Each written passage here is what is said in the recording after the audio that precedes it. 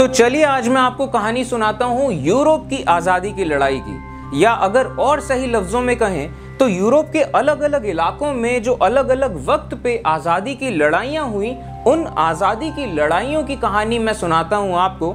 और ये जो आज़ादी की लड़ाइयाँ थी, ये शुरू हुई आज से करीब करीब 200 साल पहले, यानी कि 1800s के आसपास के टाइम में। और फिर ये आज़ादी की लड़ाइयाँ चलती रहीं अगले 100 सालों तक। और करीब 1900s की स्टार्टिंग तक ये लड़ाइयाँ यूरोप के अलग अलग हिस्सों में चली हैं।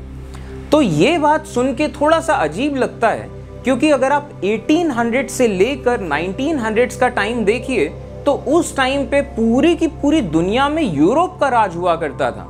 North America south America Australia Africa India China इन तमाम पूरे इलाकों में यूरोप का राज हुआ करता था। और ख़ास तौर पे अगर देखा जाए तो वेस्ट यूरोप वाला इलाका। सबसे पहले जो सुपर पावर्स बने थे वो थे स्पेन और पोर्चुगल। इनके बाद फिर अगले सुपर पावर्स बने ब्रिटेन और फ्रांस। इनके बाद फिर अगले सुपर पावर बनने की तैयारी में था जर्मनी। तो पूरी दुनिया में उस टाइम पे यूरोप का राज हुआ करता था। तो अब सवाल ये उठता है कि जब पूरी की पूरी दुनिया में यूरोप का राज है और पूरी की पूरी दुनिया उस टाइम पर अलग अलग इलाकों में लड़ रही थी इन यूरोप के लोगों से। हम हिंदुस्तान उस टाइम पे लड़ाई कर रहे थे इन यूरोप के लोगों से। तो सवाल उठता है कि यूरोप को किससे आज़ादी चाहिए थी? जब पूरी दुनिया में यूरोप का राज है तो यूरोप को किस चीज़ से आज़ादी चाहिए? तो इस सवाल को समझने के लिए आपको पहले इस चीज़ का आइडिया लेना पड़ेगा कि आज़ादी का क्या मतलब होता है। तो ये जो लफ्ज़ है आज़ादी इस लफ्ज के मायने हर किसी के लिए अलग अलग होते हैं। अब जैसे आपको एग्ज़ाम्पल देता हूँ। अगर आप किसी इंडस्ट्री में काम करने वाले मजदूर से ये पूछिए कि अच्छा तुम्हारे लिए आज़ादी क्या है? या तुम्हारी ज़िंदगी में ऐसा क्या किया जाए कि तुम्हें ये महसूस हो कि तुम थोड़े आज़ाद हो गए हो? तो उस मजदूर का जवाब ये आएगा कि, अभी उसे 12-14 घंटे 16 घंटे काम करना पड़ता है तो वो अपनी ज़िंदगी नहीं जी पाता, अपने परिवार को वक्त नहीं दे पाता। तो अगर उसे सिर्फ़ आठ घंटे काम करना पड़े और सिर्फ़ आठ घंटे काम करके उसे ठीक ठाक पैसा मिल जाए कि वो अपने परिवार का गुजर बसर कर सके और वो जिस इंडस्ट्री में काम कर रहा है, वहाँ पे चीज़ें थोड़ा सा सही से हों, अगर कोई एक्सीडेंट हो जाता है या किसी मजदूर की मौत हो जाती है तो इंडस्ट्री ज़िम्मेदारी ले उसके परिवार को संभालने की, उसकी आगे की ज़िंदगी को संभालने की। और इसके अलावा, अगर कोई मजदूर बीमार हो जाता है तो बीमारी के दौरान भी उसको उसकी सैलरी मिलती रहे, उसको पैसा नहीं काटा जाए उसका। और अब पूरे के पूरे जितने भी मजदूर हैं, वो अपनी पूरी की पूरी ज़िंदगी लगा रहे हैं उस इंडस्ट्री में काम करने के लिए। उन्होंने क्या किया ज़िंदगी भर? उस इंडस्ट्री में काम किया। तो उस इंडस्ट्री की भी ज़िम्मेदारी बनती है कि जब उनका प्रोडक्शन बढ़े तो उस चीज़ का फ़ायदा मजदूरों को भी मिले कि उनकी भी ज़िंदगी थोड़ी बेहतर हो सके। तो ऐसी जो तमाम तरह की चीज़ें हैं, अगर ये सब चीज़ें कर दी जाएँ तो एक इंडस्ट्री के आदमी को ये महसूस होगा कि हाँ अब वो आज़ाद है। इसके अलावा जो जनरल तौर पे जो आज़ादियाँ हैं, वो तो हैं ही कि आप कुछ भी खा सकते हो, कुछ भी पहन सकते हो, कहीं पे भी जा सकते हो, कहीं रह सकते हो, किसी से भी शादी कर सकते हो, कोई भी भाषा बोल सकते हो, ये सब जनरल आज़ादियाँ तो अलग से हैं। तो ये जवाब आएगा किसी इंडस्ट्री में काम करने वाले आदमी का। अगर यही सवाल आप किसी छोटे किसान से पूछे तो उसका जवाब बदल जाएगा। उसका जवाब थोड़ा सा अलग आएगा। छोटे किसान ऐसे लोगों को कहा जाता है जो खेती किसानी करते हैं पूरे सुबह से शाम तक मेहनत करते हैं, खेतों में फ़सल उगाते हैं, लेकिन उनके पास अपनी ज़मीन नहीं होती, अपने खेत नहीं होते। तो उन्हें खेती करनी पड़ती है उन लोगों के खेतों में, जिन लोगों के पास बड़ी बड़ी ज़मीनें हैं, लेकिन काम करने वाले लोग नहीं हैं उनके पास। तो वो लोग खेती किसानी उन लोगों की ज़मीनों पे करते हैं। तो अब जब फ़सल उगती है तो क्योंकि ज़मीन किसी और की है तो पूरी की पूरी फ़सल वो लोग ले जाते हैं और इन लोगों को बस थोड़ी बहुत मजदूरी का पैसा मिलता है कि उनकी ज़िंदगी बस जैसे तैसे जी सके। और ये चीज़ मैं आपको पहले बता चुका हूँ कि यूरोप में उस ज़माने में ये होता था कि पूरे यूरोप की करीब आधी ज़मीन अलग अलग राजा महाराजाओं और उनके समाज के पास थी और बची हुई आधी ज़मीन करीब वो रोमन कैथोलिक चर्च और उनके समाज के पास थी। तो जितने भी बाकी लोग थे, जितने भी आम लोग थे, इनके पास ज़मीन नहीं हुआ करती थी। तो ऐसे लोगों को कहा जाता है स्मॉल फार्मर्स और हमारे हिंदुस्तान की अगर मैं बात करूँ तो अभी आज के ज़माने में हमारे देश में करीब 70 परसेंट लोग खेती किसानी के प्रोफेशन से जुड़े हैं।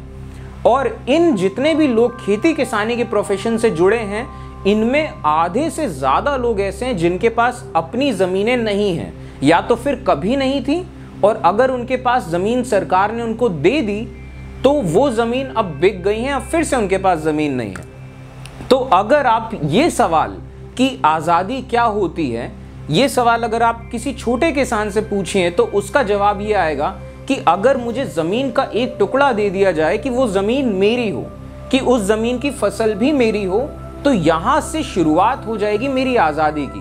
कि एक आर्थिक आज़ादी मिल जाएगी तो फिर बाकी आज़ादी भी मिल सकती है। अच्छा यही सवाल अगर आप किसी मिडिल क्लास के स्टूडेंट से पूछिए कि आज़ादी का क्या मतलब है तो वो स्टूडेंट ये जवाब देगा कि अगर जो भी राजा है या फिर जो भी सरकार है, अगर वो अच्छे कॉलेजेस बनाए यूनिवर्सिटीज़ अच्छी बनाए, उनकी फ़ीस कम हो, और उस ज़माने में ऐसा होता था जो जितने भी बड़े पोस्ट होते थे वो बड़े पोस्ट राजशाही के लोगों के लिए रिज़र्व होते थे या फिर चर्च के लोगों के लिए रिज़र्व होते थे? तो ये मिडिल क्लास स्टूडेंट का जवाब ये होगा कि आज़ादी तब है जब आप किसी भी चीज़ की पढ़ाई कर सकते हो, किसी भी नौकरी ज्वाइन कर सकते हो और उस नौकरी में अगर आप काबिल हो तो आप अच्छे खासे टॉप पोजीशन तक पहुँच सकते हो। तो ये आज़ादी होगी मिडिल क्लास स्टूडेंट के लिए।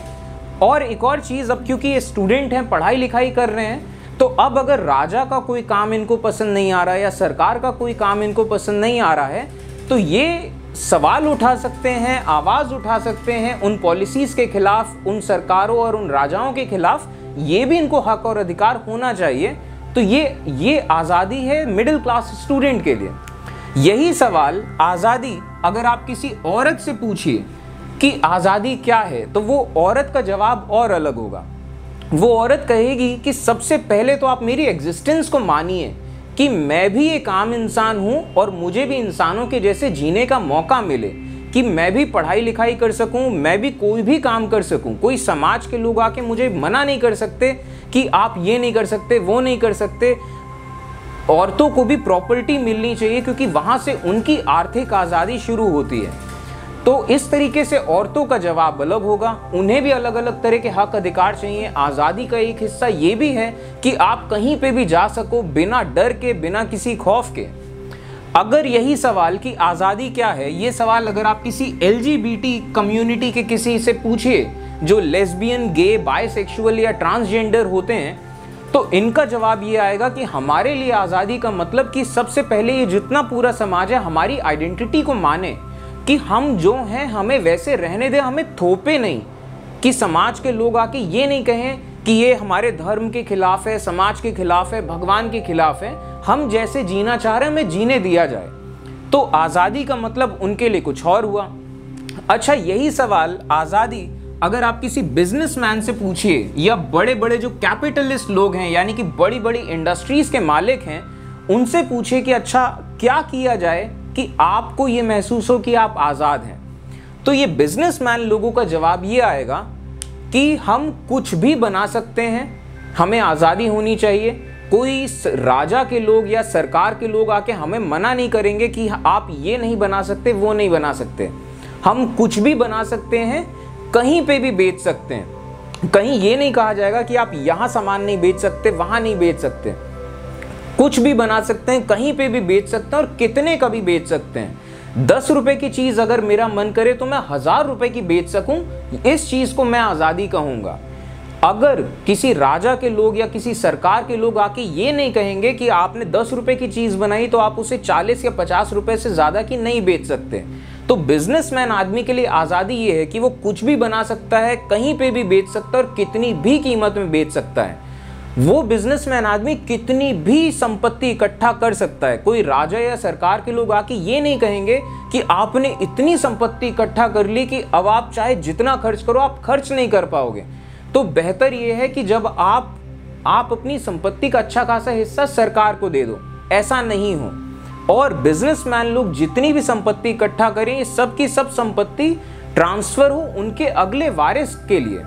कोई राजा या सरकार के लोग आके ये नहीं कहें कि अब आपने पूरी अपनी ज़िंदगी जी ली है तो आपकी जितनी संपत्ति है, आपके बेटे के लिए भी इतनी ज़्यादा है। तो आपके बेटे के लिए आधी दे दी जाए, आधी संपत्ति राज्य रख ले रहा है, जिससे कि बाकी गरीब लोगों का कुछ भला हो। ऐसा नहीं होना चाहिए। तो आज़ादी का क्या मतलब है? ये बिजनेसमैन लोगों के लिए, बिग कैपिटलिस्ट लोगों के लिए और थोड़ा सा बदल जाता है। तो आज़ादी इस तरीके से कॉन्सेप्ट है जो वैरी करता है अलग अलग लोगों के हिसाब से कि आज़ादी क्या है। अब आज से दो ढाई सौ साल पहले जब राजाओं का राज हुआ करता था, उस टाइम पे ये कोई भी आज़ादी नहीं मिला करती थी लोगों को। तो ये सब जितने भी अलग अलग वर्ग के लोग हैं, ये सब लोग इकट्ठा हुए और ये एक नेशनलिज्म यानी कि राष्ट्रवाद का ख्याल आना शुरू हुआ लोगों को कि हम सब जितने भी लोग हैं, भले ही हम सब लोग अलग अलग इलाकों से आते हों हम सब लोग, जितने भी लोग हैं, हम सब लोग भले ही अलग अलग धर्मों से आते हों अलग अलग कल्चर्स के हों, हम सब लोग एक ही सिस्टम से जुड़े हैं और वो सिस्टम हमें काटते जा रहा है, ये जो राजशाही का सिस्टम है। तो हम सब जितने भी लोग हैं, हमें मिल के अपना एक देश बनाना चाहिए। तो ये जो फीलिंग थी नेशनलिज्म ये एक तरीके से इन सब लोगों के आज़ादी की लड़ाई थी। और जब ये नेशनलिज्म वाली फीलिंग मज़बूत होती चली गई तो अलग अलग इलाकों में लोगों ने लड़ाइयाँ करी अपने राजाओं के खिलाफ और उन साम्राज्यों से, उन राजाओं के साम्राज्यों से अपने देश अलग किए हैं, अपने देश बनाए हैं। और जब देश बने हैं तो उन देशों में अब राज हुआ वहाँ की सरकारों का। और सरकार किसकी होगी? वो राजनीतिक पार्टी या वो पॉलिटिकल पार्टी जिसने चुनाव जीता है। तो अब होने ये लगा कि जो भी पार्टी ने चुनाव जीता है ये पार्टी अपर क्लास लोगों के लिए और मिडिल क्लास लोगों के लिए काम करने लगी। तो ये जो अपर क्लास लोग हैं, इनको आज़ादी मिल गई, मिडिल क्लास लोगों को ठीक ठाक आज़ादी मिल गई, लेकिन ये जो लोअर क्लास थी, इनको आज़ादी नहीं मिल पाई। और पॉपुलेशन या जनसंख्या के हिसाब से सबसे ज़्यादा बड़ा वर्ग इन्हीं लोगों का था। इनको ना ज़मीन मिली, इनको ना हिस्सेदारी मिली। तो अब जब देश बनने लगे अलग अलग जगहों पे देश बने, वहाँ की सरकारों का राज शुरू हुआ, तब भी इनके हाल बुरे थे और इस वजह से जितने लोअर क्लासेस के लोग थे, इन लोगों ने फिर से प्रोटेस्ट करने शुरू किए, इन लोगों ने अपने अपने मूवमेंट शुरू किए, क्योंकि अब राजशाही के सिस्टम से आपने देश बना लिया, अब देश बनने के बाद आप क्या करोगे? तो आपके पास इकलौता रास्ता बनता है कि आप प्रोटेस्ट करिए मूवमेंट करिए, राजनीतिक ताकत हासिल करिए कि आप फिर तब जाके अपने हाल सही कर पाएँगे। तो इस तरीके से ये आज़ादी की लड़ाइयाँ चलती रही यूरोप में अलग अलग फॉर्म्स में। तो ये जो यूरोप की आज़ादी की लड़ाई की जो सीरीज़ मैं बना रहा हूँ, ये अलग अलग पार्ट्स में बनाऊँगा और एक बार हम लैंडमार्क्स देख लेते हैं कि हम कौन कौन से लैंडमार्क्स से होते हुए गुजरेंगे। तो सबसे पहले हम शुरुआत करेंगे यूरोप की आज़ादी की लड़ाई की फ्रेंच रेवोल्यूशन के साथ, जो कि हुई थी 1789 में। तो हमारी कहानी करीब करीब 1800s के आसपास से शुरू होगी। फिर अलग अलग जगहों में जो रेवोल्यूशंस हुए, हम उनको कवर करते जाएँगे। फिर अगले पार्ट्स में हम देखेंगे कि राजनीति जब डेवलप हुई अलग अलग इलाकों में तो राजनीति के जो अलग अलग विधाएँ होती हैं, जो अलग अलग एस्पेक्ट्स होते हैं, जैसे आप सुनते होंगे left wing politics right wing politics तो इस तरह की चीज़ें लिबरलिज्म कंजर्वेटिज्म सोशलिज्म कम्युनिज्म ये सब चीज़ें शुरू कैसे हुई? इन सब चीज़ों ने कैसे कैसे रंग दिखाए? क्या क्या प्रोटेस्ट मूवमेंट्स और रेवोल्यूशंस देखे गए? हम इन तमाम चीज़ों से होते हुए गुजरेंगे। नेपोलियन बिस्मार्क कार्ल मार्क्स ऐसे बड़े बड़े लेजेंडरी लोगों के ज़िक्र आएँगे। इसके बाद ये कहानी करीब करीब 1900s के आसपास तक पहुंचेगी। और 1900s में फिर हम देखेंगे कि किस तरीके से ये सब चीज़ें होती रहीं और होते होते एक बहुत बड़ी लड़ाई हुई यूरोप में। जितने भी अलग अलग इलाके थे, उनकी टीम बन गई और उन टीम्स में आपस में लड़ाई होनी शुरू हुई और ये उस जमाने तक के लिहाज में एक बहुत, सबसे बड़ी लड़ाई थी। तो इसे वर्ल्ड वॉर कहा गया। इसके बाद फिर अब यहाँ तक तो आज़ादी की लड़ाइयाँ एक तरीके से ओवर हो गई थी इसके बाद 1920 के बाद 1950s तक, यहाँ फिर हम एक अलग फ़ेज़ देखेंगे कि किस तरीके से Lenin Hitler Mussolini Stalin Churchill ऐसे बड़े बड़े लोगों का ज़िक्र आएगा कि क्या क्या होता रहा कि फिर से एक बहुत बड़ी लड़ाई हुई। और यूरोप की इतनी बड़ी लड़ाई हुई कि इसे इसे भी वर्ल्ड वॉर कहा गया। अब क्योंकि ये पहली वर्ल्ड वॉर इसे बोल दिया गया और इसे फिर दूसरी वर्ल्ड वॉर बोल दिया गया। और किस तरीके से मॉडर्न वर्ल्ड बनना शुरू हुआ तो हम इन तमाम लैंडमार्क से होके गुजरेंगे। ये जो पहला वीडियो है, इसमें हम फ्रेंच रेवोल्यूशन कवर करेंगे और फिर ये आगे और भी पार्ट्स बनाते चले जाऊँगा। और ये जो आपका क्लास टेंथ हिस्ट्री का पहला चैप्टर है, इसमें आप अगर ये दो पार्ट्स स्टार्टिंग के दो पार्ट्स देख लें तो आपको पूरा आइडिया क्लियर हो जाएगा। लेकिन जैसे जैसे आगे पार्ट्स बनाऊँगा, उसमें आपको पूरा वर्ल्ड व्यू दिखना शुरू हो जाएगा। दुनिया आपको समझ में आने लगेगी कि दरअसल में हो क्या रहा है। और जब आप करंट अफेयर्स पढ़ेंगे, कभी आप अखबार पढ़ेंगे या न्यूज़ देखेंगे और कहीं आप देखेंगे किसी देश में कुछ हमला हुआ है या कुछ भी हुआ है तो आपको कॉन्टेक्ट समझ में आएगा कि एक्चुअली सैकड़ों सालों से क्या होता आया है, जिसकी वजह से ये सब कुछ हो रहा है। तो यूरोप की आज़ादी की लड़ाई की शुरुआत होती है फ्रेंच रेवोल्यूशन के साथ। और ये कहानी शुरू होती है आज से करीब 250 साल पहले, यानी कि 1750 के आसपास। और इलाका है फ्रांस का। फ्रांस का इलाका आज के टाइम में एक देश बन गया है, लेकिन इस टाइम पे फ्रांस का इलाका एक देश नहीं था। फ्रांस के इलाके में साम्राज्य था बर्बन खानदान के राजाओं का। अब ये जो डिफरेंस है कि एक साम्राज्य में और एक देश में क्या फ़र्क होता है इस चीज़ पे मैं एक अलग वीडियो बना चुका हूँ कि देश का क्या मतलब होता है। और वो चीज़, वो वीडियो आप ज़रूर देखिएगा, आपको आइडिया क्लियर होगा कि देश किस चीज़ को कहते हैं। और इस पूरी कहानी में हम ये देखेंगे कि हर कोई ये चाह रहा था कि हमें अपना देश बनाना है। तो देश बनाने के पीछे क्यों पड़े हुए थे लोग इतना? एक्चुअली क्या होता है देश में ऐसा? तो ये चीज़ आप वो वीडियो ज़रूर देखिएगा, आपको और फील आएगा इस चीज़ में, समझ पाएँगे डेप्थ में कि हो क्या रहा था। तो साल चल रहा है 1750 इलाका है फ्रांस का, जहाँ पे साम्राज्य बर्बन खानदान के राजाओं का। और इस टाइम पे जो राजा थे, उनका नाम था लुई सिक्सटीन और ज़ाहिर तौर पे बर्बन खानदान के थे। और इस टाइम पे जो रानी थी, इनका नाम था मैरी एंटोनेट और ये हैब्सबर्ग खानदान की बेटी थी। जो बर्बन खानदान का साम्राज्य था, इनके पास में एक और साम्राज्य था ऑस्ट्रो हंगेरियन साम्राज्य। आज के टाइम पे ऑस्ट्रिया, हंगरी, बोस्निया, सर्बिया ऐसे कई सारे इलाके हैं अलग अलग देशों के। उस टाइम पे ये देश नहीं हुआ करते थे, यहाँ पे साम्राज्य हुआ करता था ऑस्ट्रो हंगेरियन साम्राज्य, जिसमें राज हुआ करता था हैब्सबर्ग खानदान के लोगों का। तो ये जो रानी थी, मैरी एंटोनेट ये हैब्सबर्ग खानदान की बेटी थी ऑस्ट्रो हंगेरियन साम्राज्य की बेटी। तो ये जो बर्बन खानदान के लोग हैं, ये बहुत ऐशो आराम में जिया करते थे। उस टाइम पे फ्रांस के इलाके की राजधानी थी पेरिस। आज के टाइम पे भी है, जब फ्रांस देश बन गया है तो पेरिस के थोड़ा बाहर की तरफ़ एक जगह थी वर्साए।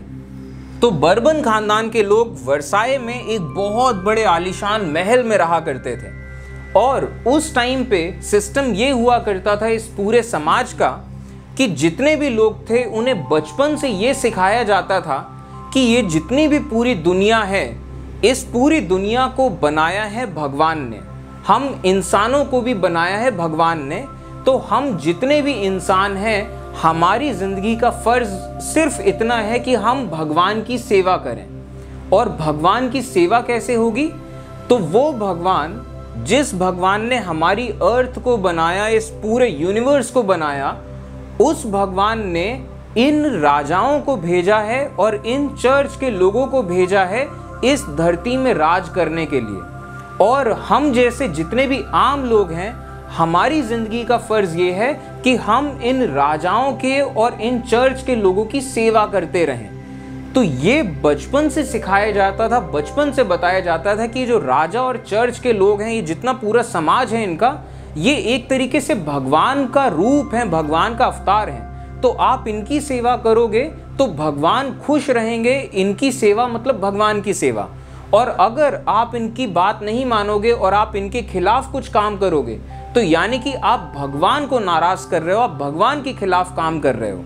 और अगर आप इनके खिलाफ कुछ बोलोगे तो अब भगवान तो सजा देने आएँगे नहीं तो ये लोग सजा देंगे आपको। और इन लोग के पास पूरी अपनी आर्मी थी, पूरी, यार राजशाही है इनके पास, पूरी तो पूरी ताकत है इनके पास। तो ये पूरे समाज का सिस्टम चला करता था कि जो नोबल्स हैं, जो राजशाही के लोग हैं, राजशाही के समाज इन्हें नोबल्स कहते थे, और जो चर्च के लोग और इनका समाज इनको क्लर्जी कहा करते थे। तो नोबल्स और क्लर्जी लोगों के डिवाइन अथॉरिटी हुआ करती थी, यानी कि इनको भगवान की तरफ़ से ये अथॉरिटी मिली थी कि ये अपनी ज़िंदगी ऐशो आराम में गुजारेंगे और सब जितनी प्रजा है, प्रजा का फ़र्ज़ ये था कि ये लोग सेवा करते रहें इन नोबल्स और क्लर्जी के लोगों की। और उस टाइम पे जब बचपन से इतना बताया जाता था, बचपन से इतना सिखाया जाता था और पूरे समाज के सब लोगों को तो लोग वाकई में ये मानने लगे थे कि जो राजशाही के लोग होते हैं, इनका खून अलग होता है। ये अलग प्रजाति के लोग हैं, वाकई इनमें कुछ अलग होता है। ये मानते थे उस टाइम पे लोग कि राजा सिर्फ़ वही बन सकता है जिसमें राजशाही का खून हो। कोई आम आदमी बन ही नहीं सकता राजा। और अगर आम आदमी अगर ये सोचे कि मैं राजा बन जाऊँ तो ये भगवान के खिलाफ काम हो जाएगा। तो ये सब चीज़ें, ये सब चीज़ें करता कौन था? ये सब चीज़ें होती थी चर्च के थ्रू। जितनी भी पढ़ाई लिखाई है, जितना भी समाज कैसे चलेगा, उस टाइम पे चर्च के हाथ में हुआ करता था। तो चर्च बचपन से ये चीज़ें बताता था कि सब लोगों को कि आप की ज़िंदगी का फ़र्ज़ है हमारी सेवा करना। अब 1700s के आसपास एक नई चीज़ होना शुरू हुई थी उस टाइम पे एक से एक थिंकर्स फिलोसफर्स आ रहे थे, जैसे Voltaire Rousseau John Locke Hume Kant ऐसे बहुत सारे फिलोसफर्स और थिंकर्स थे। उन लोगों का ये कहना था कि जितना भी पूरा सिस्टम है, ये राजशाही और चर्च का सिस्टम ये फ्रॉड पे बेस्ड है। ऐसा नहीं होता है कि भगवान ने, जिस भगवान ने इस पूरे यूनिवर्स को बनाया, ऐसा नहीं हो सकता है कि वो भगवान कुछ लोगों को चुन के भेजे कि इन लोगों का राज होगा। तो ऐसा नहीं है कि जो सिस्टम है मोनार्की का सिस्टम ये नेचुरल नहीं है। और इन लोगों का ये कहना था, ये बस सिस्टम बना दिया गया है कि बचपन से ब्रेन वॉश करके रखा जाता है लोगों को, और अगर लोग नहीं माने तो ऑप्शन क्या है? सारी ताकत इन राजशाही के लोगों के पास है, अपनी सेना भेज के मरवाते रहते थे लोगों को जो नहीं मानते थे इनकी बात। तो इन जितने भी थिंकर्स थे, इन लोग का ये कहना था कि जितने भी ह्यूमन सफरिंग है पाँच दस परसेंट समाज के लोग, जो राजशाही और चर्च के लोग हैं, इनकी ज़िंदगी ऐशो आराम में है और 90 परसेंट से ज़्यादा लोग, जो आम लोग हैं, इनकी ज़िंदगी कीड़े मकोड़ों जैसे जी रहे हैं, इंसान जैसे जी नहीं पा रहे हैं। तो इनका ये कहना था, ये जितने भी ह्यूमन सफरिंग्स हैं, इसको कैसे कम किया जाए? तो ये लोग लोगों को कहा करते थे, आप कोई भी चीज़ पे आँख बंद करके भरोसा मत करिए किसी भी चीज़ का सही तरीका क्या है? ये लॉजिक से ही निकल सकता है कि आप किसी भी चीज़ को लॉजिकली एनालाइज करो तो समझ में आ जाएगा आपको कि क्या सही है, क्या गलत है। सरकार पे की बात जब आती थी तो इन लोगों का ये कहना था कि इंसान पैदा तो होता है, आज़ाद होके, लेकिन जब इस दुनिया में आता है तो वो बंदिशों में बंधा रहता है। और ये जो सरकार है या राजशाही जो है, ये एक सोशल कॉन्ट्रैक्ट के थ्रू होनी चाहिए। यानी कि समाज में आपसी सहमति से ये राज होना चाहिए कि कैसे कानून होंगे, समाज कैसा होगा, ये आपसी सहमति से होना चाहिए। ऐसे नहीं कि बस किसी ने कोई आदेश दे दिया, पूरे समाज में ऐसा होना ही होना है। और जितने लोग हैं, सबको ज़िंदगी की आज़ादी मिलनी चाहिए। तमाम तरह की और भी आज़ादियाँ कि वो कुछ भी पहने, कोई भी धर्म फॉलो करें, कोई भी भाषा बोलें हर किसी को प्रॉपर्टी रखने का अधिकार होना चाहिए। पहले के टाइम में प्रॉपर्टी सिर्फ़ राजशाही के लोगों के पास हो सकती थी या चर्च के लोगों के पास। आम आदमी को भी प्रॉपर्टी रखने का अधिकार हो। जो राज है वो सबको बराबरी से देखे और डेमोक्रेसी हो। तो ये सब तमाम तरह की बातें चलती रही। 1700s का जितना पूरा टाइम था, उस टाइम पे ऐसे ऐसे थिंकर्स पूरे समाज में ऐसी बातें फैलाते रहे। ये आइडिया स्ट्रांग होता चला गया। और उस टाइम पे पेरिस जो था, फ्रांस के इलाके की राजधानी, ये एक फिलोसफिकल सेंटर बन गया। पूरे यूरोप से अलग अलग इलाकों से लोग आते थे। यहाँ एक से किताबें प्रिंट होती थी पब्लिश होती थी, पढ़ी जाती थी। लोग एक दूसरे से बात करते थे डिस्कशंस होते थे कि क्या किया जाए दुनिया भर में। अलग अलग तरह के क्लब्स इमर्ज हो रहे थे। और बुक्स छप रही थी पैम्पलेट्स छप रहे थे और साइंस आगे बढ़ रही थी, नए दुनिया खोजी जा रही थी, उन डिस्कवरीज पे बात होती थी। तो इस सेवनटीन हंड्रेड्स में ये टाइम ये चीज़ें होती रही पूरे टाइम जितनी भी हम चीज़ें देखेंगे, ये चलता रहा।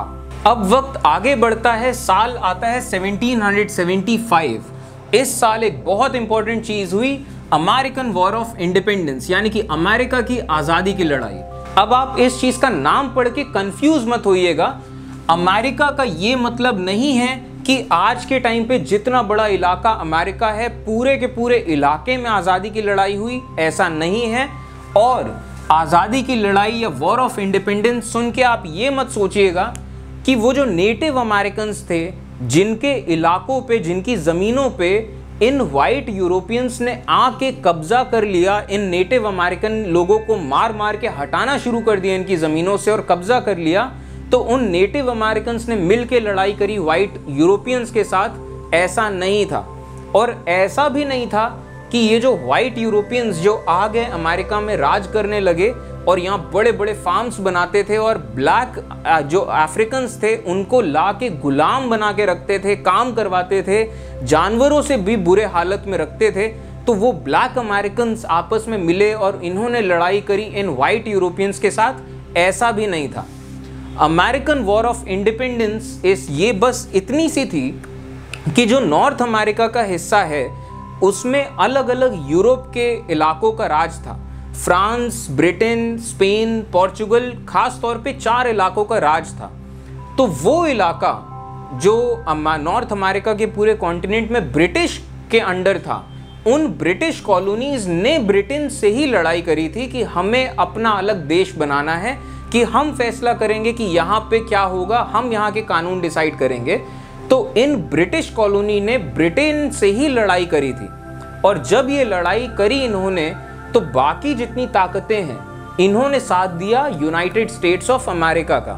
और फिर ये यूनाइटेड स्टेट्स ऑफ़ अमेरिका आज़ाद हुआ और फिर आगे के भविष्य में जाके ये जो थर्टीन कॉलोनीज थी, इन्होंने फ्रांस का इलाका ले लिया, स्पेन का इलाका ले लिया और फिर ये इतना बड़ा इलाका बना जो आज के टाइम में हम यूनाइटेड स्टेट्स ऑफ़ अमेरिका देखते हैं। आगे के भविष्य में इन्होंने रशिया से अलास्का वाला हिस्सा भी खरीद लिया और जितने छोटे मोटे आइलैंड्स जितने आसपास के इलाके थे, सब पे कब्जा कर लिया।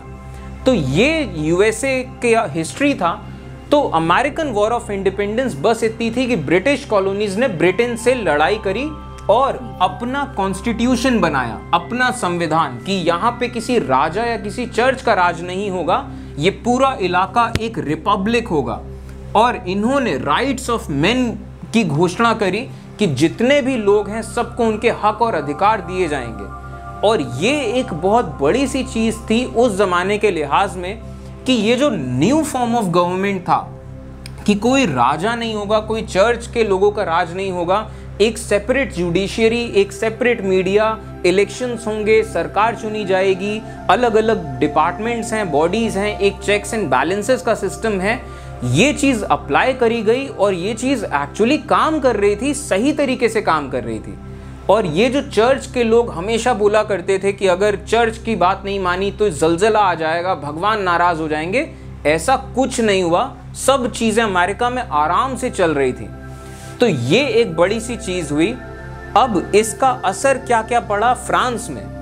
तो जब ये अमेरिका ने लड़ाई करी थी ब्रिटेन से, अपनी आज़ादी की लड़ाई तो उस टाइम पे जो लुई सिक्सटीन थे, इन्होंने अमेरिका की बहुत मदद करी थी। खूब सारा पैसा भेजा था इन्हें हथियार के लिए, अपनी सेनाएँ भी भेजी थी ब्रिटेन से लड़ाई करने के लिए। क्योंकि ब्रिटेन और फ्रांस, ये दोनों सुपर पावर्स थे।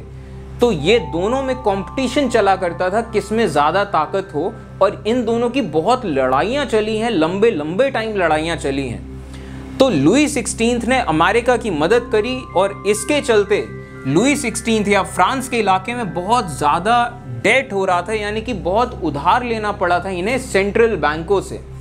और इससे पहले मैं बता चुका आपको कि फ्रांस ने बहुत लड़ाइयाँ लड़ी ब्रिटेन से तो उस टाइम के भी उधार इनके बचे हुए थे। तो 1775 के बाद का जो वक्त है, इस वक्त में फ्रांस के इलाके की जो इकोनॉमी या अर्थव्यवस्था थी, ये श्रिंक हो रही थी। ये कम होती जा रही थी क्योंकि इन्हें उधार चुकाना था तो इन्हें पैसा जितना आ रहा था, इन्हें देना पड़ रहा था सेंट्रल बैंकों को। अब जब राजशाही के पास पैसा कम हो रहा है तो राजशाही के पास पैसा कैसे आएगा? टैक्स के ज़रिए। तो इन्होंने टैक्स बढ़ाना शुरू किया और ज़्यादा टैक्स लगाए। और उस ज़माने में ये होता था कि टैक्स जो है, वो राजशाही या चर्च के लोगों पे बहुत नॉमिनल लगा करते थे, समझ लीजिए ना के बराबर। और ज़्यादा पूरा का पूरा टैक्स देना पड़ता था जो निचला वर्ग है समाज का, जो 90 परसेंट आबादी, जो काम करने वाले लोग हैं, इन पे ये टैक्स की मार पड़ती थी। तो ये इस वजह से 1775 के बाद फ्रांस के हाल थोड़े खराब होते चले गए, जो आम लोग हैं, इनके मतलब सेविंग्स कम होती चली गई इनकी। और इसी टाइम में 1700s के पूरे टाइम में एक चीज़ हो रही थी पॉपुलेशन बढ़ रही थी यूरोप के अलग अलग इलाकों में। और पॉपुलेशन के साथ गरीबी भी बढ़ रही थी और भूख भी बढ़ रही थी लोगों की। अब वक्त आगे बढ़ता है 1775 से वक्त आगे बढ़ के आता है 1788 इस साल हुआ ये कि फ्रांस में फ़सल बर्बाद हो गई। किसी एक पौधे की बीमारी की वजह से, जिसकी वजह से खाने की कमी होने लगी। खाने की जब कमी होने लगी तो कीमतें बढ़ने लगी हर चीज़ की, खाने पीने की चीज़ों की। और ख़ास तौर पे ब्रेड जो चीज़ सबसे ज़्यादा खाई जाती थी, ब्रेड की कीमतें बहुत ज़्यादा बढ़ गई, इतनी ज़्यादा कि गरीब आदमी खरीद नहीं पा रहे थे ब्रेड। तो 1788 में जो लोगों का भूख है, ये भूख गुस्से में बदल गई।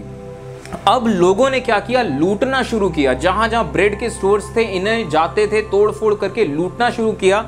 और इसी दौरान जब चीज़ों की कीमतें बढ़ रही हैं प्राइस राइज हो रहा है तो कई सारे जमाखोर आए उन जमाखोरों ने ब्रेड को जमा करना शुरू किया कि जब कीमतें और बढ़ेंगी तो हम और बड़ी कीमतों में बेचेंगे।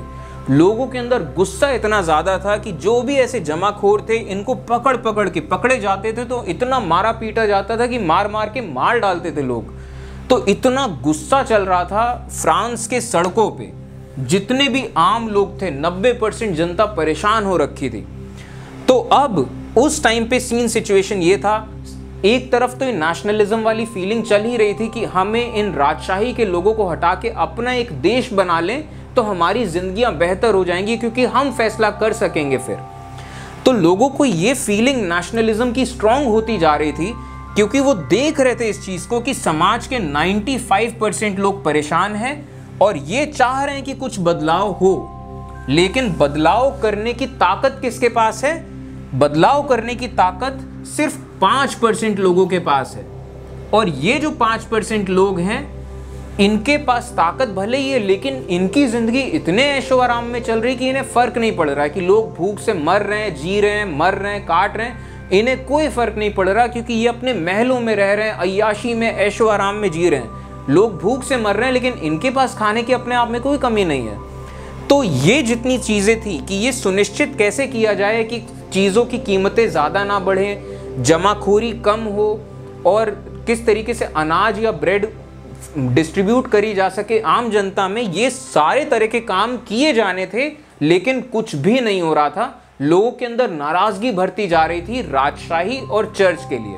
तो ये चीज़ें चलती रही अगले साल 1789 इस साल जो राजा थे, लुई सिक्सटीन, इन्हें टैक्सेस को और बढ़ाना था।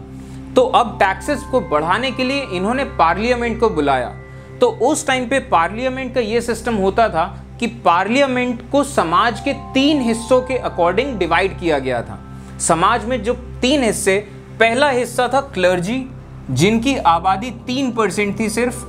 समाज का दूसरा हिस्सा जो था, वो था राजशाही के लोग। इनकी आबादी करीब करीब सात परसेंट हुआ करती थी और समाज का जो तीसरा हिस्सा है ये था वर्किंग क्लास के लोगों का और समाज में इनकी आबादी 90 परसेंट हुआ करती थी।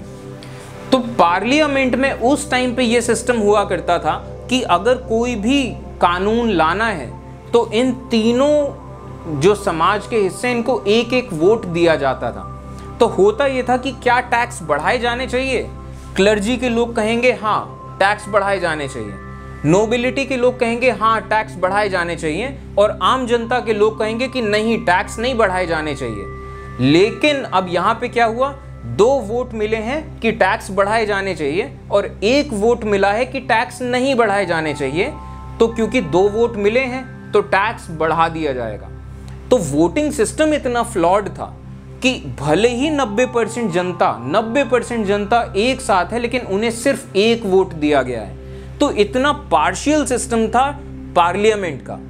तो 1789 में जब गुस्से से भरे लोग पार्लियामेंट में पहुँचे, उन्होंने ये डिमांड रखी कि जो रूलिंग क्लास के लोग हैं, ये भी टैक्स भरें और ये लोग ज़्यादा टैक्स भरें क्योंकि इनके पास सारा पैसा है तो ये लोग टैक्स भरें, हमसे ज़्यादा टैक्स ना लिया जाए।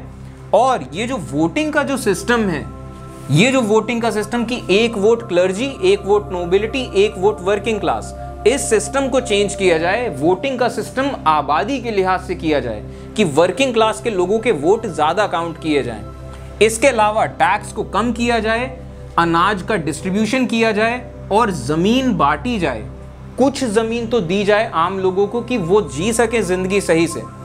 तो ऐसी सब डिमांड्स इन जो वर्किंग क्लास के जो लीडर लोग थे जो बिजनेसमैन थे, जो मिडिल क्लास के लोग थे, ये लोग लीडर थे वर्किंग क्लास रिप्रेजेंटेटिव्स तो इन वर्किंग क्लास रिप्रेजेंटेटिव्स ने जब ये आवाज़ उठानी शुरू करी, इनकी सब डिमांड्स को मना कर दिया गया और फिर ये काम स्थगित हो गया। अब इसके अगले दिन, जब फिर से पार्लियामेंट बुलाई जानी थी तो फिर से ये लोग पहुँचते हैं। वर्किंग क्लास के रिप्रेजेंटेटिव्स और आम जनता के लोग सब पहुँचते हैं पार्लियामेंट के बाहर। और ये देखते हैं कि पार्लियामेंट के दरवाजे बंद कर दिए गए हैं। Doors of the parliament close for third state ये जो थर्ड स्टेट था वर्किंग क्लास इनके लिए दरवाजे बंद हैं कि इनकी एंट्री नहीं। तो ये एक तरीके से सिंबॉलिज्म था एक तरीके का कि वो जो रूलिंग क्लास के लोग हैं, इन्हें कोई फ़र्क नहीं पड़ता है उन आम लोगों से और आम लोगों का कुछ भी सोचना, कुछ भी करना, उनका कोई मायने नहीं है इस साम्राज्य में। ये सिंबॉलिक जेस्चर था एक कि दरवाजे बंद कर दिए उनके लिए कि आप अंदर नहीं आ सकते।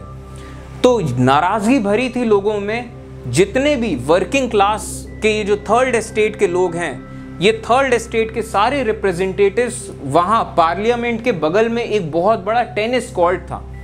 तो ये सब लोग उस टेनिस कोर्ट में मिलते हैं, जितने रिप्रेजेंटेटिव्स ये घोषणा करते हैं कि अब ये जितना भी इलाका है, ये पूरा इलाका अब किसी राजा की जागीर नहीं है ये इस जनता का देश है, नेशन है।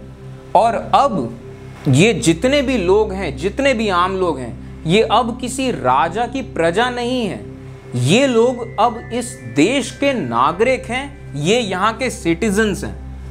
और ये नेशनल असेंबली जो बनी, इसके जो हेड थे, उस टाइम पे वो थे मैक्सिमिलियन रॉब्सपियर अभी इनका ज़िक्र कई बार आएगा आगे। और मैक्समिलियन रॉब्सपियर ये जैकोबियन क्लब के हेड थे। ये जैकोबियन क्लब एक तरीके से एक रेवोल्यूशनरी क्लब था, जहाँ पे ऐसे जितने भी थोड़े क्रांतिकारी विचार वाले लोग हैं, इन सब लोगों का एक ग्रुप था, जो सीक्रेट तौर तौर पे मिला करते थे, जिससे कि ये राजशाही और चर्च की नज़रों से बच के मिल सकें और प्लान कर सकें कि क्या हो सकता है, क्या नहीं हो सकता है, विचार एक दूसरे से आदान प्रदान हो सके। तो जैकोबियन क्लब के लीडर थे मैक्समिलियन रॉब्सपियर। ये बने नेशनल असेंबली के हेड अब यहाँ पे इस नेशनल असेंबली में डिसाइड किया गया कि एक कॉन्स्टिट्यूशन बनाया जाएगा, संविधान। और अब ये जितना इलाका है, जो देश है, ये अब कॉन्स्टिट्यूशनल मोनार्की होगा। यानी कि ठीक है, यहाँ राजा का राज होगा, ठीक है। लेकिन अब राजा अपने मन से कुछ भी नहीं कर सकता है। उस राजा को एक संविधान के मुताबिक चलना पड़ेगा। और ये जो संविधान है, ये देश की बेहतरी के लिए बनाया जाएगा। ये संविधान इसलिए नहीं बनाया जाएगा कि ये जो राजशाही के रूलिंग क्लास के लोग हैं, इनकी ज़िंदगी मज़े में चले, बाकी लोग कुर्बानी करते रहें इनके सुख के लिए। तो अब ऐसा नहीं होगा, संविधान लोगों की, जो आम जनता है, जो नागरिक हैं, इनकी बेहतरी के लिए लिखा जाएगा। जितने भी सर्फ हैं, जिनके पास ज़मीनें नहीं हैं जितने भी प्रोफेशनल्स हैं, जितने बिजनेसमैन हैं, जितनी औरतें हैं, जो अलग अलग वर्ग के लोग हैं, उन सब की जिनकी आज़ादी की डेफिनेशन अलग अलग है, सबको अपनी अपनी डेफिनेशंस की आज़ादी मिलेगी। तो अब जब आपने ये घोषणा कर दी कि ये पूरा इलाका किसी राजा की जागीर नहीं, एक देश है, ये राजद्रोह है तो अब इसके लिए क्या हुआ? ये बात है 1789 महीना चल रहा था जुलाई। जो राजशाही के लोग हैं, इन्होंने पूरी की पूरी सेना लगा दी पेरिस में, छावनी बना दिया उसे। करीब करीब तीस हज़ार लोग पेरिस में तैनात थे और आदेश ये दिया गया कि कहीं पे भी लोग इकट्ठा नहीं होंगे, कोई भी आंदोलन नहीं करेंगे, कोई भी ऐसे नारेबाजी नहीं करेंगे, कोई कुछ भी करेगा, उसे उठा के जेल में डाल दिया जाएगा। लेकिन अब लोगों के अंदर इतना नाराज़गी कि वो रुकने वाले नहीं थे मूवमेंट थमने वाला नहीं था। जितने आम लोग थे, उन्होंने बनाया नेशनल गार्ड्स खुद आपस में ऐसी टुकड़ियाँ बनाई जिनका काम ये होगा कि अगर ये राजशाही की सेनाएँ अगर मारपीट पे उतरती हैं तो ये भी मारपीट कर सकें, ये भी अपने लोगों को बचा सकें। तो राजाओं की सेनाओं से लड़ने आए थे नेशनल गार्ड्स यानी कि देश की जो सेना है। और जितना भी हो पाया था, लोगों ने अपने अपने तरीके से हथियार उठाए, कई जगह क्लैशेस भी हुए, और इन क्लैशेस में लोगों को ज़रूरत थी गन पाउडर की। यानी कि कुछ ऐसी चीज़ जिससे विस्फोट हो सके। तो अब ये गन पाउडर कहाँ मिलेगा? तो बात आई कि पेरिस में एक बहुत पुराना किला था जिसको जेल के तरह पे इस्तेमाल किया जाता था और वहाँ हथियार भी रखे जाते थे, जिसका नाम था बेस्टाइल फोल्ट तो बात यह आई कि बेस्टाइल फोल्ट पे अटैक करते हैं तो सारे के सारे लोग पहुँच जाते हैं बेस्टाइल के किले पे और बेस्टाइल के जो गवर्नर हैं उन्होंने खूब लड़ाई करी लोगों से, लेकिन बहुत ज़्यादा देर नहीं लड़ पाए। उन्होंने सरेंडर कर दिया, लेकिन लोगों के अंदर इतना गुस्सा था, उन्होंने गवर्नर और इन सब लोगों को मारना पीटना शुरू कर दिया। इनके गले काट दिए, इनके कटी हुए सरों को डंडों में लगा के इन्होंने पूरे शहर में घूमे। और जो लोग थे, फ्रांस के लोग, इतना गुस्सा इनके अंदर था कि इन्होंने बेस्टाइल के किले की एक एक ईट उठा के ले गए तोड़ तोड़ के बेस्टाइल का किला तोड़ दिया। और इन ईटों को अपने अपने घरों में ले जाके लोगों ने सजाया एक तरीके से कि ये जो पुराना पास्ट रहा है, उस पास्ट को तोड़ने का ये एक निशान है, ये एक निशानी है उस पुराने टूटे हुए सिस्टम की, जिसको एम्बलम बना के रखा गया। और फ्रांस के इलाके का एक झंडा सोचा गया रेड और ब्लू ये फ्रांस के रंग जिनको डिवाइड किया था वाइट ने। और ये वाइट जो था, ये रंग था बर्बन खानदान का कि रेड और ब्लू को बीच में से डिवाइड कर रखा है बर्बन खानदान ने। तो अब जुलाई में ये सब चीज़ें शुरू हुई, लड़ाई झगड़े शुरू हुए और ये चीज़ें चलती रहीं। फ्रांस अनस्टेबल था बहुत। अब वक्त आता है दो तीन महीने बाद अक्टूबर 1789 ब्रेड की कीमतें फिर से थोड़ी सी बढ़ी तो अब फ्रांस में कई सारी औरतें जमा हो गई प्रोटेस्ट करने के लिए, और ये प्रोटेस्ट, इन्होंने ये कहा कि हम वर्साए तक मार्च करेंगे, पेरिस से पैदल जाएँगे वर्साए तक। अब ये जब मार्च शुरू हुआ तो ये मार्च बढ़ता चला गया, भीड़ बढ़ती चली गई, और ये प्रोटेस्ट जब तक पहुँचा वर्साए, ये लोग वॉयलेंट हो गए और इन्होंने वर्साए में जाके, क्योंकि वहाँ की सेना है, वो घुसने नहीं देगी आपको अंदर। सेनाओं से इन्होंने लड़ाई करी है, सेनाओं को हटाया है, और जो राजशाही के लोग हैं, जो राजा और रानी हैं, साक्षात राजा और रानी को ये एक उठा के ले आए पेरिस में। यानी कि एक तरीके से देखा जाए तो वो राजा और रानी कैदी बन गए इन लोगों के। इनको पेरिस में ले आया गया कि आप वर्साए के उस महल में नहीं रहेंगे, अब आप पेरिस में रहेंगे, ये जो देश है आपका। देश में रहिए और देश के लोगों के साथ रहिए। अब आप राजा नहीं है कहीं के। और जो राजा थे लुई सिक्सटीन क्योंकि अब ये इन लोगों के कैदी बन चुके थे तो ये अब मजबूर थे कि ये कॉन्स्टिट्यूशन को मानना पड़ेगा। और इस टाइम पे जब राजा रानी को लोगों ने कैद कर लिया, कैद क्या कर लिया? महल में ही रखा। लेकिन अब उनके फोर्स पे हैं वो। तो यहाँ पे जितने क्लर्जी के लोग थे, जितने चर्च के लोग थे, जितने नोबिलिटी के लोग थे, ये भागने लग गए फ्रांस से अपनी अपनी जान बचा के। उनको इतना खतरा महसूस हो रहा था। और कई जगह लोगों ने हमले भी करने शुरू कर दिए इन लोगों पे। कि इनको हमले करो, इनको भगाओ, इनकी संपत्तियों पे खुद कब्जा कर लो। अब यहाँ पे लिखा गया कॉन्स्टिट्यूशन यानी कि संविधान और बहुत रेडिकल चेंजेस किए गए इसमें। सबसे पहले जो रूलिंग क्लास थी, उस रूलिंग क्लास के प्रिविलेजेस को खत्म कर दिया गया, जो डिवाइन अथॉरिटी थी। फ्यूडलिज्म इस सिस्टम को खत्म कर दिया गया कि अब कोई आदमी किसी ज़मीन से जुड़ा नहीं है, कि अब राजशाही के लोगों ने ज़मीन खरीदी तो वो लोग जुड़े हैं उस सिस्टम से।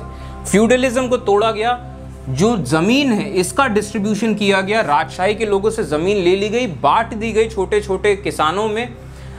Declaration of rights of men ये किया गया, यानी कि हर आदमी के अधिकार, हक और अधिकार डिसाइड किए गए कि उन्हें अब ज़िंदगी जीने का अधिकार है लाइफ लिबर्टी इक्वालिटी की, यानी कि जो राज है, अब भेदभाव नहीं करेगा, सबको बराबर तौर पे देखेगा, सबको प्रॉपर्टी का मतलब एक अधिकार है। फ्री स्पीच का अधिकार है और फ्री रिलीजन का अधिकार है कि अब चर्च अपने धर्म को थोपेगा नहीं किसी पे, कितना मानना है, कितना नहीं मानना है ये इंसानों पे है। फ्री स्पीच की कोई आदमी राजा के खिलाफ चर्च के खिलाफ अपने विचार रख सकता है। और इसके बाद centralise system of uniform laws की अब जो कानून होंगे, वो पूरे के पूरे समाज में, चाहे रूलिंग क्लास के लोग हों, चाहे गरीब क्लास के लोग हों कानून सबके लिए एक होगा। ऐसा नहीं कि रूलिंग क्लास के लोगों ने क्राइम किया तो उन्हें सजा नहीं दी जाएगी। ऐसा नहीं होगा। अब सबके लिए यूनिफॉर्म लॉज हैं। वोटिंग राइट्स खोले गए सब आदमियों के लिए। औरतों को अभी भी वोटिंग का राइट नहीं मिला। जो क्लर्जी है, जो चर्च के लोग हैं, इन पे अब स्टेट का कंट्रोल होगा। यानी कि अब रोमन कैथोलिक चर्च इनको अपने एम्प्लॉयज़ के तौर पे नहीं रखेगी। फ्रांस की जो सरकार है, वो इन्हें एम्प्लॉयज़ के तौर पे रखेगी। जो चर्च के जो ज़मीनें हैं, इनको बेच दिया गया। अब इसके बाद कुछ बिजनेसमैन लोगों के लिए भी किया गया। जो इंटरनल कस्टम्स ड्यूटी है, इनको अबॉलिश कर दिया गया कि अब फ्रांस के अंदर के जितने भी इलाकों में आप सामान एक जगह से दूसरी जगह ले जाओगे, आपको जगह जगह टैक्स नहीं देना पड़ेगा। यूनिफॉर्म सिस्टम रखा गया वेट्स का।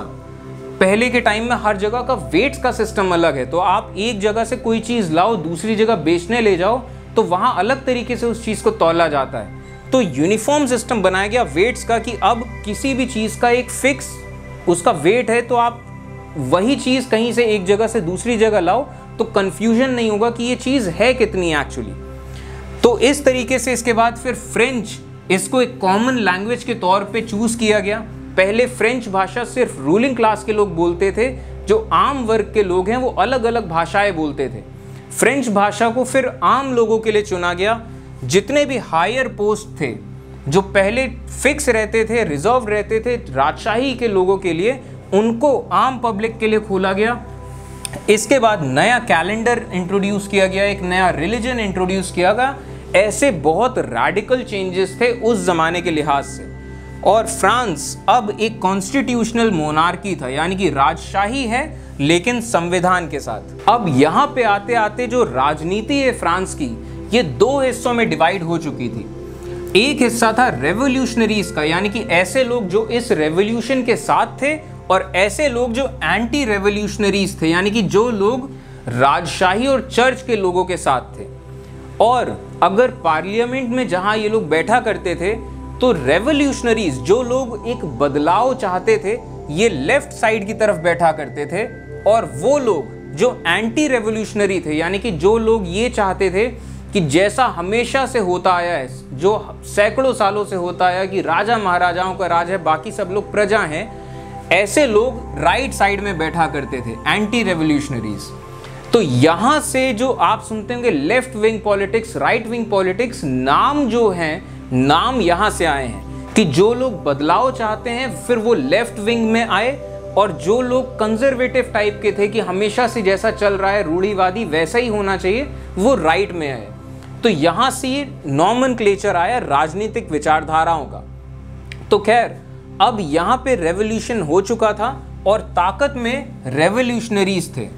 तो अब रेवोल्यूशनरीज जब ताकत में थे तो इन्होंने क्या किया? जो एंटी रेवोल्यूशनरीज हैं, जो चर्च और राजशाही को सपोर्ट करने वाले लोग हैं, इनको जेल में डालना शुरू किया, क्योंकि इनको ये डर था कि अगर ये लोग ताकतवर होते रहे तो फिर से रेवोल्यूशन को टर्न बैक कर देंगे कॉन्स्टिट्यूशन को ख़त्म कर देंगे और ये जितना रेवोल्यूशन हुआ है, ये सब बर्बाद हो जाएगा। तो अब इन्होंने जेल में डालना शुरू किया। ऐसे जितने भी सपोर्टर्स थे नोबिलिटी के सपोर्टर्स क्लर्जी के सपोर्टर्स और भविष्य में अब जब ये इनका तरीका बना कि जितने भी एंटी रेवोल्यूशनरीज हैं, इनको जेल में डालो, फिर आगे भविष्य में ये होने लगा कि कोई आदमी अगर रेवोल्यूशन के साथ है, लेकिन रॉबस्पियर के खिलाफ कुछ बोल रहा है या जैकोबियन क्लब के खिलाफ कुछ बोल रहा है, उसको भी उठा के जेल में डाल देंगे।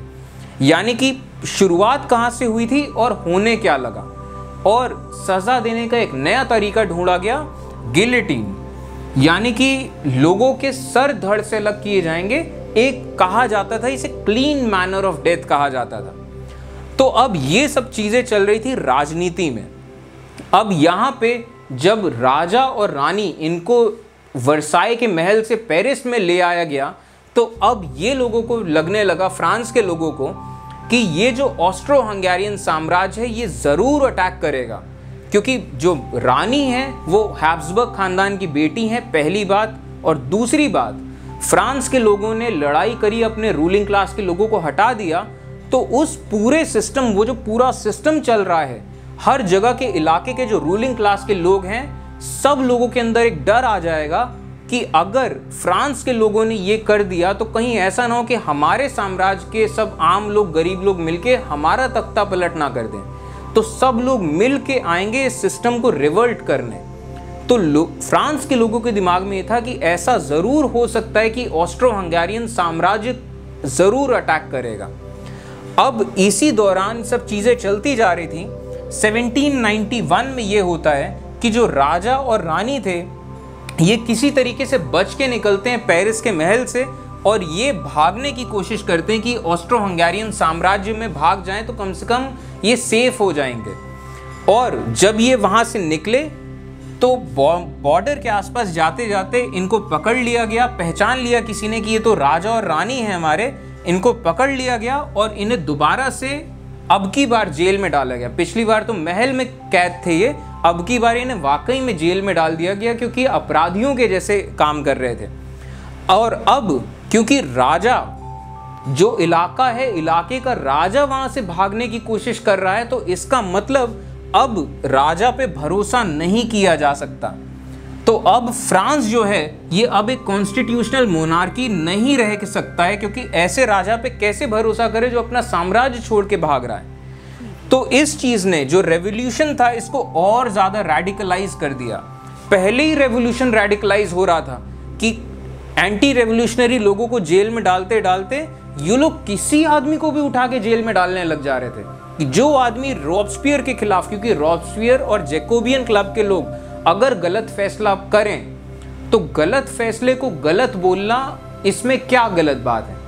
अगर गलत फैसला बोल दिया, भले ही वो रेवोल्यूशन के साथ है, लेकिन उन्हें जेल डाल दिया जाएगा तो और ज़्यादा रेडिकलाइज हो गया रेवोल्यूशन अब वक्त आता है 1791 इस टाइम पे रॉबस्पियर जो थे मैक्समिलियन रॉबस्पियर इसने खुद को डिक्टेटर बना लिया। सारी की सारी ताकतें इसने खुद पे ले ली, और यहाँ पे रेवोल्यूशन जो था फ्रेंच रेवोल्यूशन वो एक तरीके से डिरेल हो गया। बना किस लिए था और होने क्या लग गया, यहाँ से आपको फ़र्क नज़र आएगा। रॉबस्पियर ने ये एम रखा कि हमें सबसे पहले रेवोल्यूशन को बचाना है, क्योंकि ये जो एंटी रेवोल्यूशनरीज हैं, ये रेवोल्यूशन को तोड़ देंगे। तो यहाँ पे शुरू हुआ रेन ऑफ़ टेरर यानी कि दहशत का राज। जितने भी रेडिकल्स थे, इन्होंने कॉन्स्टिट्यूशन को सस्पेंड कर दिया गया। और जितने भी एंटी रेवोल्यूशनरीज थे, जो नोबिलिटी हैं क्लर्जी के लोग, इनको मारना शुरू कर दिया लोगों ने। कम से कम 25 से तीस हज़ार लोग मारे गए और कोई भी आदमी, सिर्फ़ नोबिलिटी क्लर्जी नहीं, जो लोग रेवोल्यूशन के साथ हैं, लेकिन रॉबस्पियर की बुराई अगर जरा सी बुराई भी कोई कर देता था, उसको उठा के गिलेटीन में ले जाके मार दिया जाता था। तो रॉबस्पियर एक सुप्रीम लीडर बन गया और ये अपने पागलपन करने लग गया। भविष्य में इस टाइम के आसपास जो राजा और रानी थे, इनको भी गिलेटीन कर दिया गया, इनको भी जान से मार दिया गया और क्योंकि अब राजा रानी है ही नहीं तो फ्रांस अब एक रिपब्लिक बना। इतिहास में पहली बार कि अब फ्रांस में कोई राजा या रानी नहीं है फ्रांस एक रिपब्लिक है। और 1792 में फ्रांस डिक्लेयर करता है वॉर ऑस्ट्रिया पे। और ये जो रॉब्सपियर का राज हुआ ये राज इतना ज़्यादा खराब था कि रॉबस्पियर ने एक सीक्रेट पुलिस लगा दी थी पूरे समाज में ये देखने के लिए कि कौन लोग खुश हैं रेवोल्यूशन से और कौन लोग कैसी कैसी बातें कर रहे हैं। अगर आप रॉबस्पियर की ज़रा सी बुराई भी कर दें, तब भी हो सकता है आपको जान से मार दिया जाए। तो इतने टेरर में लोग जी रहे थे उन दो तीन सालों में। लोगों ने जो रेवोल्यूशन किया था, जो राजशाही से लड़ लिए थे, इसलिए नहीं लड़े थे कि जिस, जो ये होने लग रहा था रॉबस्पियर के अंडर तो लोग इतना तंग आ गए थे रॉबस्पियर से। रॉबस्पियर अपने पार्लियामेंट के लोगों को मरवाने लग गया था कि उसको हर किसी में दुश्मन नज़र आने लग गया था। पागलपन सवार हो रहा था उसे। तो इन सब के चलते रॉबस्पियर का राज सिर्फ़ तीन साल रहा। दो से तीन साल 1794 में यहाँ तख्ता पलट होता है और जितने लोग होते हैं, सब मिल के ये डिसाइड करते हैं कि रॉबस्पियर को हटाना है। रॉबस्पियर का तख्ता पलट हुआ और फाइनली रॉबस्पियर को ही गिलेटीन दिया गया। उसका सर धड़ से अलग किया गया और इस तरीके से खत्म हुआ। End of reign of terror अब जब रॉबस्पियर का खात्मा हुआ तो यहाँ पे जो ताकत में जो लोग आए, दोबारा से 1795 में ताकत में आए कंजर्वेटिव लोग, वो जो एंटी रेवोल्यूशनरी थे, जो राजशाही के सपोर्ट में थे, उन लोगों, वो लोग दोबारा से ताकत में आए। इन लोगों ने मिल के अपनी एक डायरेक्टरी बनाई पार्लियामेंट के जैसे, और इन्होंने वो जो रेडिकल सा कॉन्स्टिट्यूशन था, वो जो फ्रेंच रेवोल्यूशन की निशानी था, उस कॉन्स्टिट्यूशन को हटा दिया, और अब इन्होंने डिसाइड किया कि ये जितनी डेमोक्रेसी फ्रेंच रेवोल्यूशन ने दी इस डेमोक्रेसी को कम किया जाएगा, जो रेडिकल्स हैं, इनको दबाया जाएगा, खत्म किया जाएगा, और ये जो कंजर्वेटिव थे, एक चीज़ समझ गए थे कि अब इतना रेवोल्यूशन हो चुका है तो अब समाज एग्जैक्टली exactly वैसा नहीं हो सकता जैसे पहले था। थोड़ा सा उन्हें बैलेंस बनाना पड़ेगा पुराने और नए तरीकों में। और लेकिन अब यहाँ पे इन्होंने क्या किया? वोटिंग राइट्स को लिमिट कर दिया गया। फ्रेंच रेवोल्यूशन में जैसे था, सारे आदमियों को वोट देने का अधिकार है। तो वोटिंग राइट्स को लिमिट किया गया कि सिर्फ़ अमीर लोग जो वोटिंग का टैक्स दे सकते हैं, सिर्फ़ वही लोग वोट देंगे, गरीब लोग वोट नहीं देंगे। और ये कहा गया क्योंकि गरीब लोग बहुत आराम से मैनिपुलेट हो जाते हैं और इन गरीब लोगों की वजह से रॉबस्पियर जैसे लोगों का राइज होता है। तो इस वजह से इनको फिर वोटिंग राइट्स इनसे छीन लिए गए गरीबों से। और फ्रांस के बाहर लड़ाई चलती रही। फ्रांस ने जो ऑस्ट्रो हंगेरियन साम्राज्य से लड़ाई की घोषणा करी, ये चलती रही और नए नए जगहों पे फ्रांस की सेनाएँ जाती रहीं और जितने भी, जितने छोटे मोटे लेवल के राजा थे, उनको हटा के दूसरे राजा बनाने शुरू कर दिए। और 1795 के बाद यहाँ पे राइज होना शुरू होता है एक मिलिट्री कमांडर का, जिनका नाम था नेपोलियन। और फ्रेंच रेवोल्यूशन से पहले ऐसा होता था कि जितने की टॉप पोस्ट होते थे, टॉप पोस्ट सिर्फ़ रूलिंग क्लास के लोगों के लिए होते थे, आम आदमी उन बड़े अहदों पे नहीं आ सकता था। फ्रेंच रेवोल्यूशन ने यह कानून हटा दिया था तो नेपोलियन एक आम परिवार से आया हुआ लड़का अपनी काबिलियत से एक अच्छे खासे कमांडिंग पोजीशन पे पहुँच गया तो नेपोलियन एक तरीके से रेवोल्यूशन का एम्बॉडीमेंट बनता चले गए, एक कमांडर के तौर पे। तो यहाँ पे हमने देखा कि किस तरीके से फ्रेंच रेवोल्यूशन हुआ और किस तरीके से फ्रेंच रेवोल्यूशन में एक ब्रेक लगा और फिर से कंजर्वेटिव लोग ताकत में आ गए और कॉन्स्टिट्यूशन वापस से ले लिया गया। अब यहाँ पे 1795 के बाद फ्रांस बहुत अनस्टेबल हो रखा था स्टेबिलिटी नहीं आ रही थी, लोग चाह रहे थे कि कॉन्स्टिट्यूशन दोबारा लाया जाए, चीज़ें दोबारा करी जाएँ, लेकिन ताकत में कंजर्वेटिव लोग थे, इन्हें अपनी ज़मीनें बचानी थी तो ये टसल चल रहा था, बैलेंस सिस्टम नहीं बन रहा था और पावर वैक्यूम था कि जो राजा हैं, राजा चले गए, जो बड़े लीडर थे, रॉबस्पियर, वो भी चले गए। तो अब पावर वैक्यूम है। इस पावर वैक्यूम में क्या किया जाए?